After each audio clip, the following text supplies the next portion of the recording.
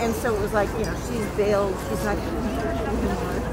And you know, the whole speculation.